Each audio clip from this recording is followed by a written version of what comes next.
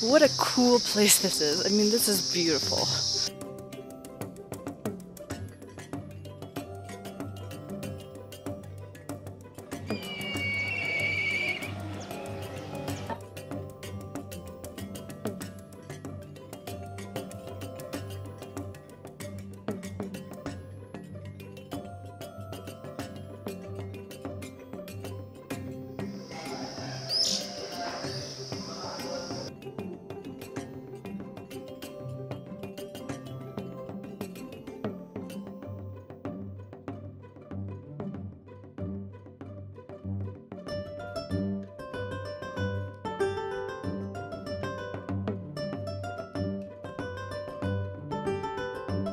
So this might have been the funniest thing that I think has ever happened during our travels.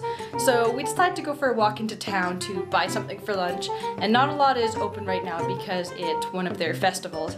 We finally see this store that has some fruit. We're like, okay great, we'll go buy some bananas. So we get there and we're thinking like, I don't know how many do we want? Maybe like one each, maybe a couple each, maybe a bundle, that should be fine. So I say bananas and I say doi, which means two, or at least pretty sure it means two. And he goes, ah, okay, so there was the bundle on the table, and he goes and starts to get another bundle and starts like counting up the bananas. I'm like, oh, okay, what? Maybe he's giving us a selection based on ripeness or something? I don't know. Anyway, so Steve takes out a 100 rupee bill, which is about one dollar, and we give it to him thinking like, okay, we'll just buy this bundle.